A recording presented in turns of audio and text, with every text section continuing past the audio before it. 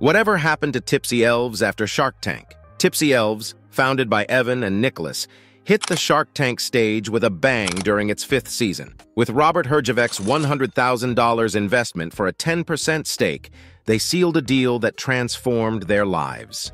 Their ugly sweaters struck gold, raking in $1.35 million in just two years. What began as holiday-themed apparel evolved into a diverse range of novelty clothing, from flamingo-patterned golf knickers to American flag-print snowsuits. Since their Shark Tank debut, Tipsy Elves has skyrocketed, surpassing $100 million in sales. Herjavec hailed it as his favorite investment, crediting its exponential growth to entrepreneurial brilliance. Evan and Nick weren't just after holiday cheer.